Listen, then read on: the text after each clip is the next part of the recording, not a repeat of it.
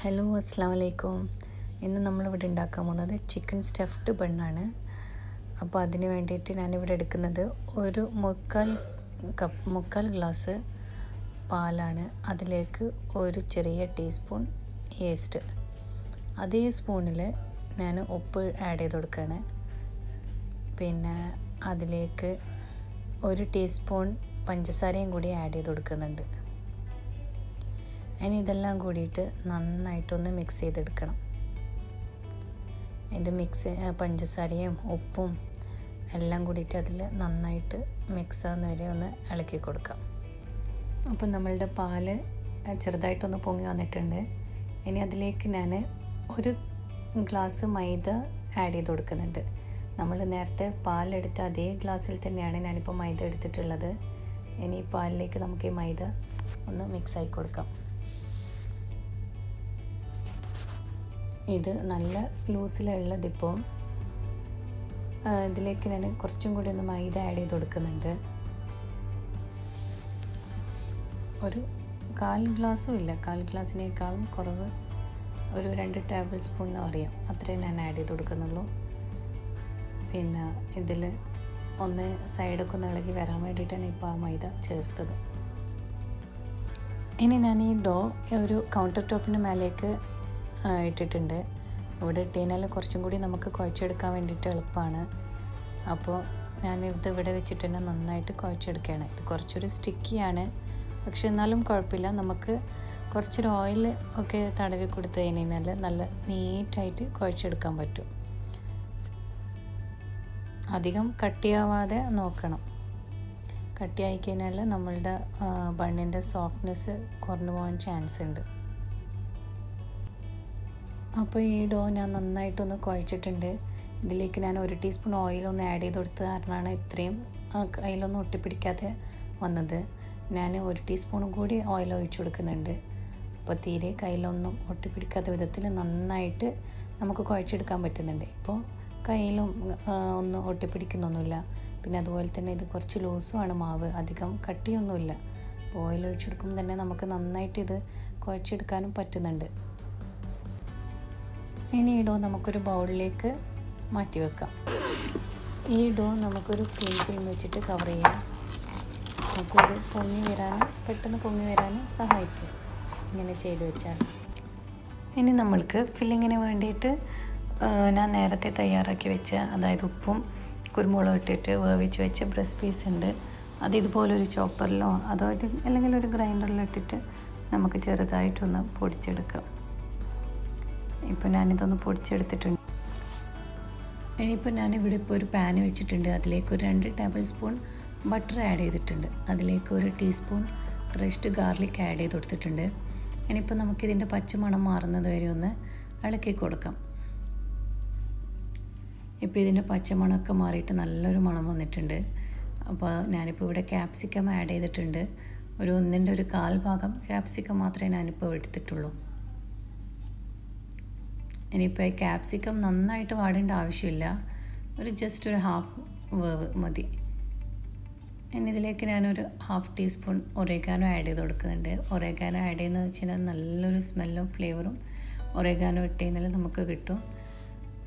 പിന്നെ ഇവിടെ ഞങ്ങൾക്ക് എല്ലാവർക്കും ഒരേഗാനോന്റെ ടേസ്റ്റും മണമൊക്കെ നല്ല ഇഷ്ടമാണ്.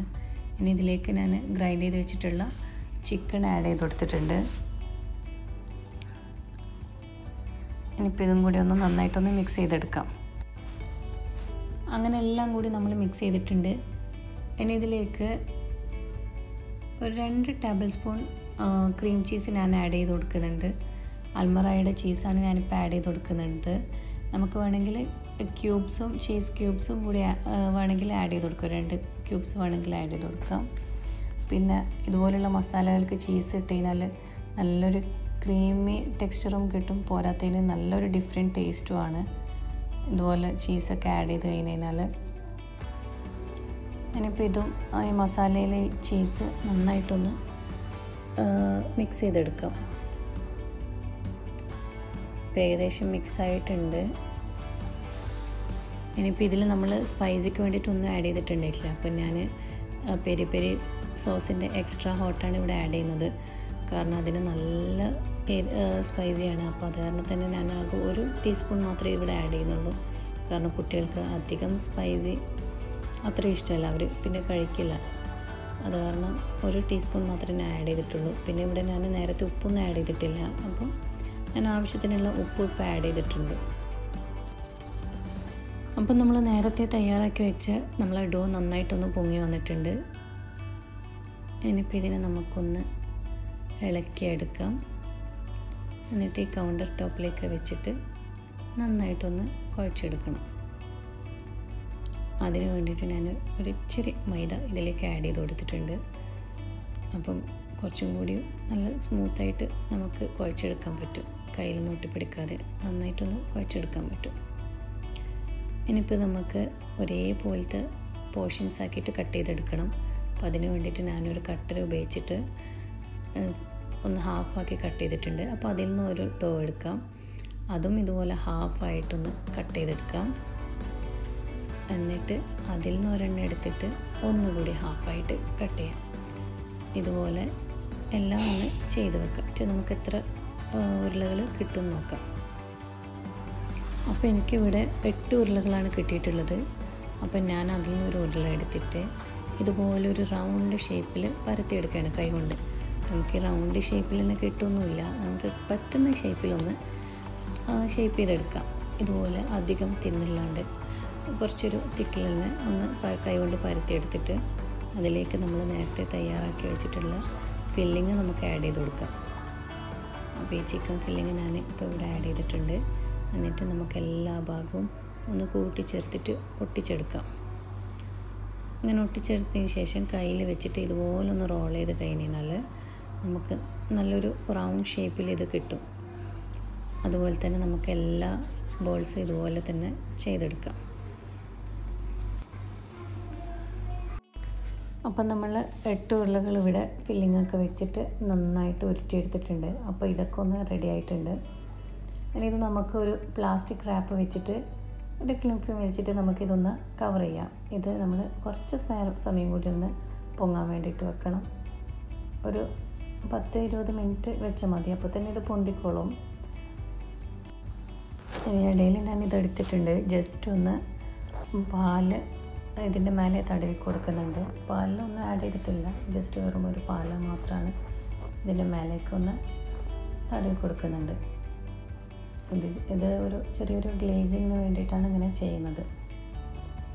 അപ്പോൾ എല്ലാത്തിന്റെയും മേലെ ഒന്ന് പാലൊക്കെ തടവി കൊടുത്തിട്ടുണ്ട്. ഇനി സസ്മി സീഡ് എല്ലാത്തിന്റെ മേലെ നമുക്കൊന്ന് ആഡ് ചെയ്ത് കൊടുക്കാം. അപ്പം നമ്മുടെ ബണ്ണ് ഇത് ആയിക്കഴിഞ്ഞാൽ നല്ലൊരു ഭംഗിയാണ് കാണാൻ വേണ്ടിയിട്ട്.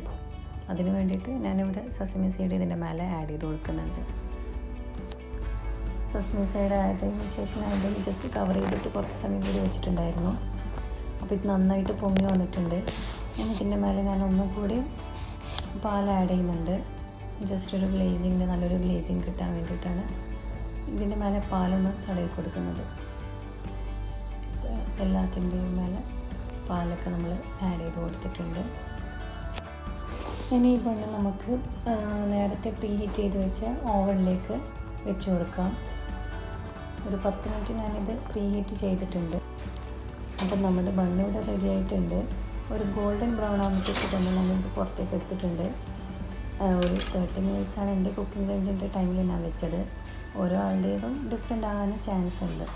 ചെറുതായിട്ട് അങ്ങോട്ടും ഇങ്ങോട്ടും ഡിഫറെന്റ് ആവും. അപ്പോൾ ഈ ടേസ്റ്റി ആയിട്ടുള്ള ബണ്ണ് എല്ലാവരും ഒന്ന് ട്രൈ ചെയ്ത്